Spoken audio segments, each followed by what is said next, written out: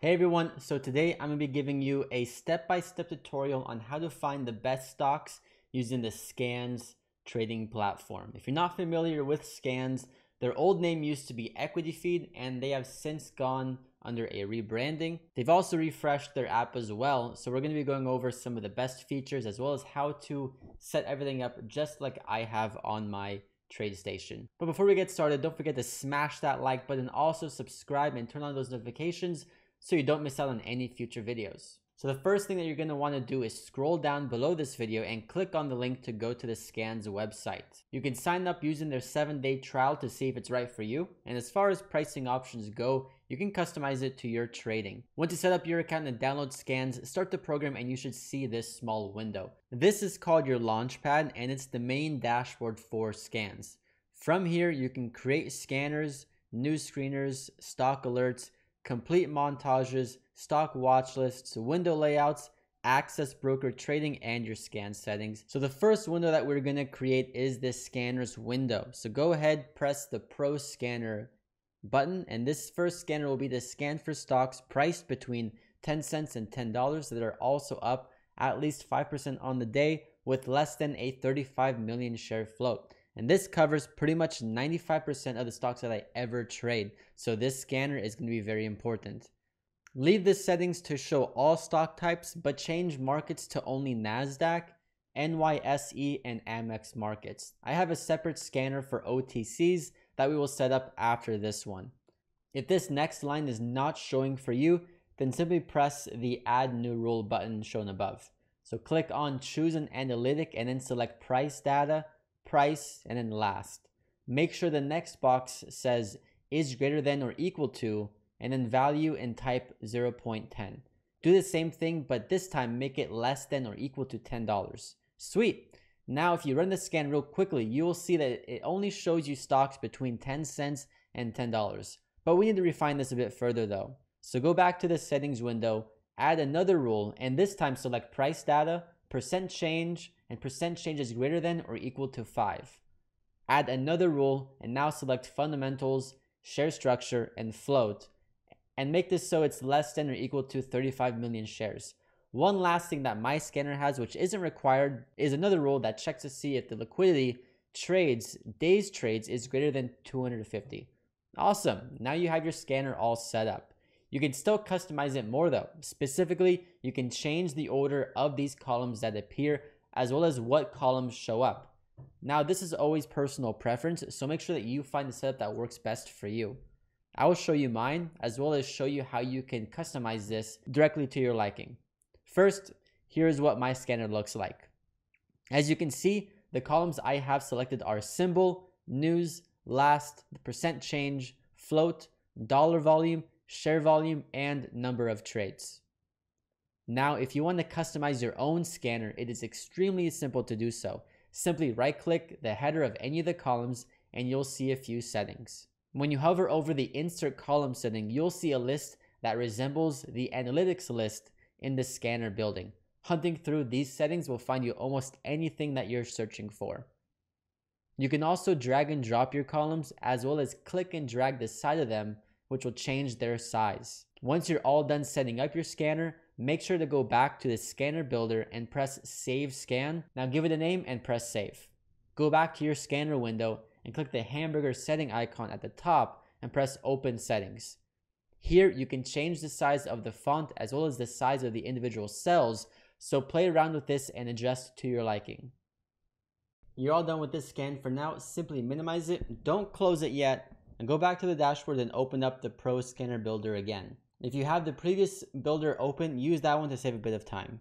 This time we're going to make the OTC scanner that I use. If you don't care for trading OTCs, simply skip to the time shown on the screen to get to the next step. Make sure that the scanner is set to only OTC markets at the top and use the following values in your scanner. Last price is greater than or equal to 0.0005 and less than $2.50.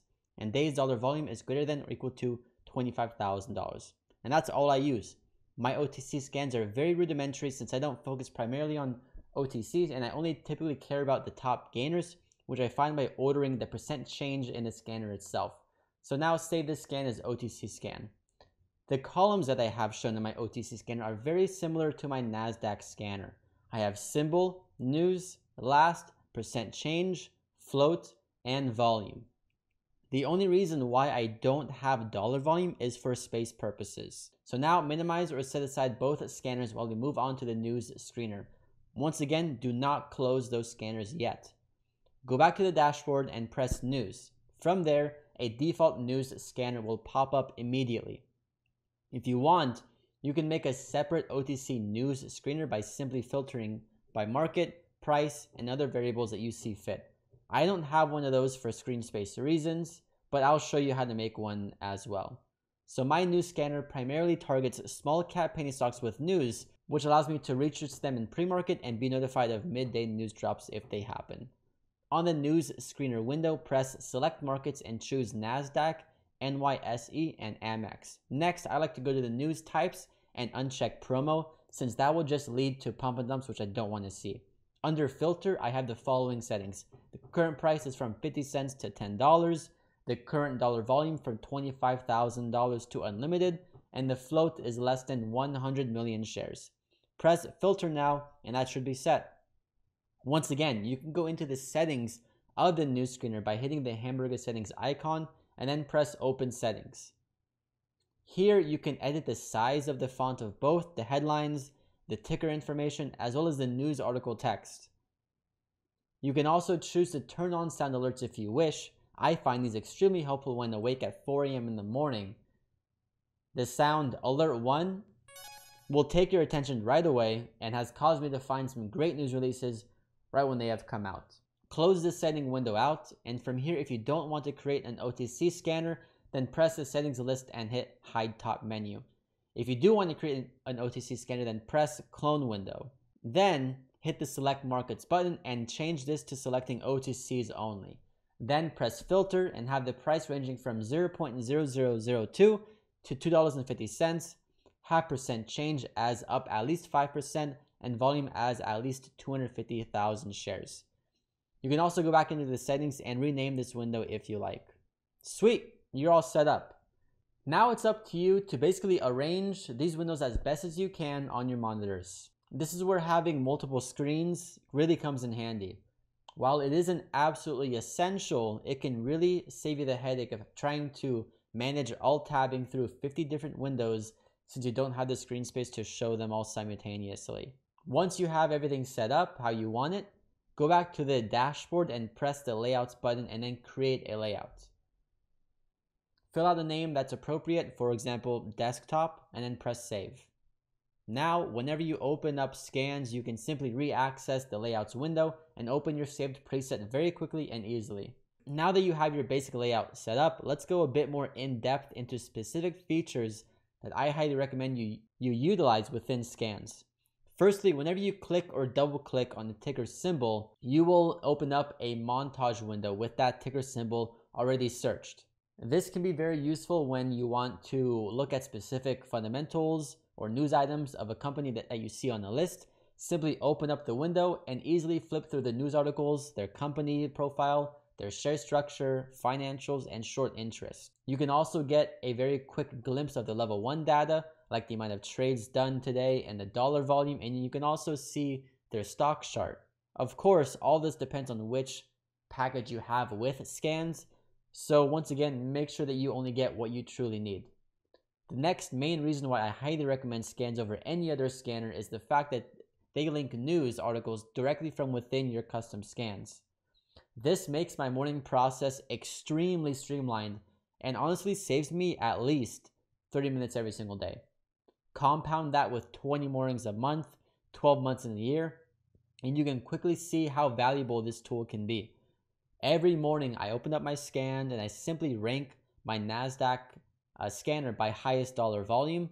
And by doing so, I can quickly identify which stocks are getting the most action, the most hype, the most volatility, the most volume. And if I see a number next to the ticker's name, then I immediately know that they have a news catalyst. And if I click on that number, it'll bring up the list of news articles right away.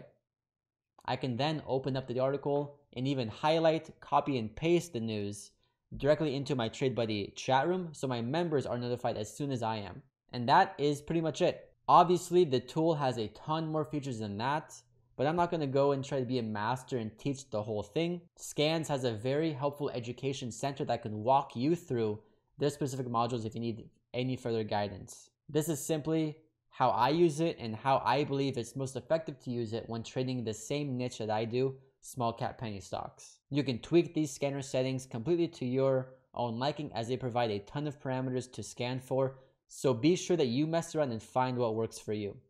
As I always recommend to my students, you should become extremely comfortable with the tools at your disposal when trading.